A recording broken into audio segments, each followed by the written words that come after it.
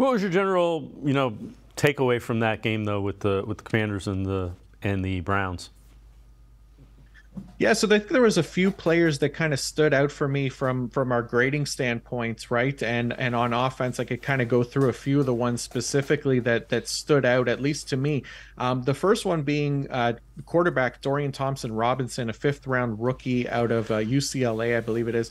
Um, but he's all, he's been having an awesome preseason already. We saw it in the Hall of Fame game. He was one of the top five graded offensive players for the Browns in that game, and then he kept the momentum going this past weekend um, with the second highest offensive grade on the team with an 88.6 just being super efficient with his passes, going nine for 12, 102 yards and a touchdown, and hasn't thrown any turnover worthy plays so far this preseason. Showed off ability as a runner as well, picked up a third down with his legs. So, really interesting player there that could potentially push for a backup quarterback spot on a team and and and act as Deshaun Watson um, if Deshaun Watson isn't in the lineup. And then um, a couple really interesting players that I thought uh, also stood out. Elijah Moore, new with the team this year, um, didn't play a ton, but with no Cooper or Chubb, he, he was kind of the clear focal point of the offense early on.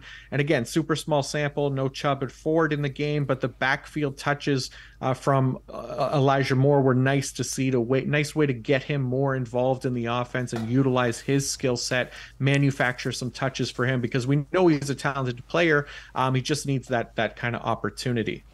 Yeah, and um, um, and then the sorry, go ahead. No, it, so he got banged up, the rib rib contusion day to day, and then the other one that you were going to talk about is Dawand Jones.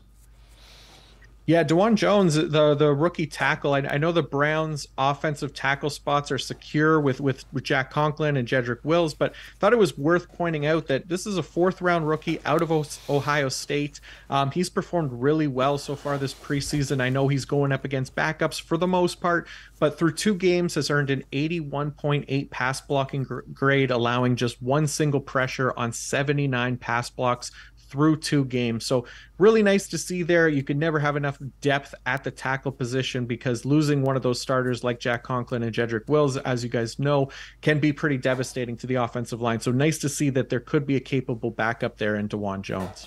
So if we flip to the uh, the defensive side of the ball, uh, there's a couple guys that I know you, you thought played pretty well. Um, Maurice Hurst, that's a guy that if he's healthy, He's been a productive NFL defensive tackle. Take us through what you saw from him. Yeah, he's always been an interesting talent on the interior of the defensive line, right? And he's kind of bounced around the league a little bit because of injury stuff and inefficiencies, but he's gone from Las Vegas to San Francisco, now here in Cleveland. And I think there's talent here that that can help him be a contributor for this Browns defensive line. Um, this past weekend, we saw him earn an 81.6 defensive grade. He posted three total pressures and a sack on just 16 pass rush attempts personally i'm a big fan of what the browns have done to improve their defensive line this year and i know you know interior defensive line wasn't as good as it could have been last year but upgrades like a dalvin tomlinson shelby harris maurice hurst i think are stronger additions uh, than what they're getting credit for. Yeah and, and the next guy we're going to talk about is probably happier than anybody with the, the upgrades. Jeremiah owusu you know when you when you have the quickness and the speed he does it shows when you don't have a tackle flying back at you. yeah, that definitely helps. And and look, we, we haven't seen um, Owusu fully take over a full time role yet in his NFL career. It felt like he might get a chance last year, but then was kind of in and out of the lineup with interest with injuries. But he, he's a really interesting player for for for me as someone who fits the modern NFL linebacker mold it could fly around the field, like you said, making plays. You could line him up anywhere, be solid in run defense, and then not be a liability in coverage. He's consistently shown flashes of that whenever he's been on the field, and this past weekend earned an 81.3 defensive grade.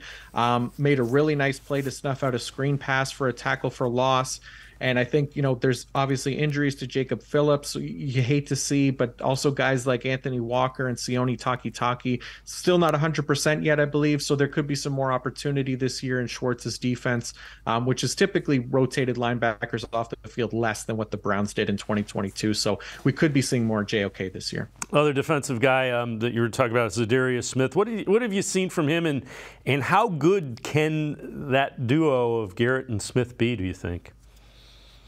Yeah, I mean, speaking of additions to the defensive line, right, and then one that just isn't getting enough credit again to what they deserve. Smith was one of the best pass rushers in the league last season. He earned an 84.7 pass rush grade, which was ninth among all edge defenders. He posted 78 total pre- pressures, which was fourth among edge defenders, and was just really solid in run defense as well. You know, Clowney, he was solid last season, but I don't know that Myles Garrett will have ever had a, a running mate on the edge opposite him as good as Smith. So this could be kind of a huge revelation for the Browns pass pass rush this season if he can keep it going. And I think it's only going to be a good thing for for Myles Garrett as well.